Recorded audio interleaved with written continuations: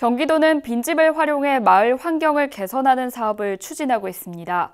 연천 백일리 마을부터 양주 봉암리, 포천 오가리 마을까지 달라지고 있는데요. 접경지 마을을 경기북부 김태희 기자가 다녀왔습니다. 양주시 봉암리 마을 곳곳에 빈집이 새롭게 단장하고 있습니다. 비어있던 구 마을회관을 PC방과 공유 숙박시설로 폐허가 된 창고는 카페로 만들 계획입니다.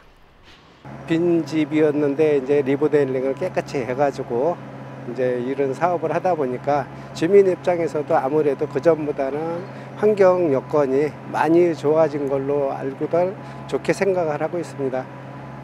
경기도는 접경 지역 빈집을 활용해 주거 환경을 개선하고 마을을 살리는 사업을 추진합니다. 군사시설 보호구역과 수도권 규제 등 중첩 규제로 발전이 더디고 인구가 유출되고 있는 마을에 활력을 불어넣기 위해서입니다. 2018년 연천 백의2리 마을을 시작으로 지난해 양주시 봉암리, 올해는 포천시 창수면 오가리 마을이 선정됐습니다.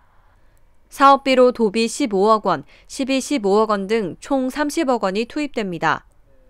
포천시 창수면 오가리 마을입니다. 이곳은 생태평화 관광마을로 조성될 예정인데요. 제 뒤로 보이는 곳은 마을 공동 체험형 농장으로 그리고 폐공장을 활용해 한탄강을 찾는 관광객들의 시설을 만들 예정입니다. 한탄강과 가까운 오가리 마을은 관광객을 끌기에도 좋은 조건입니다.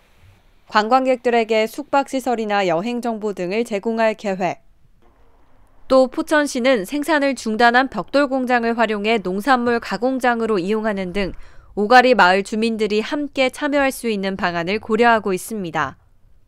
관광객이 많이 와도 볼거리만 보는 게 아니고 어떤 체험 같은 거를 넣었을 때는 하나의 뭐 여기 같은 경우는 이제 어 제가 사과 농사를 짓고 있지만 사과밭도 많고 그리고 뭐 사과 따기 체험도 있지만 벽돌 공장 같은 데도 벽돌에 대한 부분에 대해서 체험이 가능하다고 보거든요. 경기도는 도시재생 공간 활용 분야의 전문가 컨설팅을 통해 전문성을 높이고 마을 주민이 시설을 직접 관리할 수 있도록 할 계획입니다. 경기도TV 김태희입니다.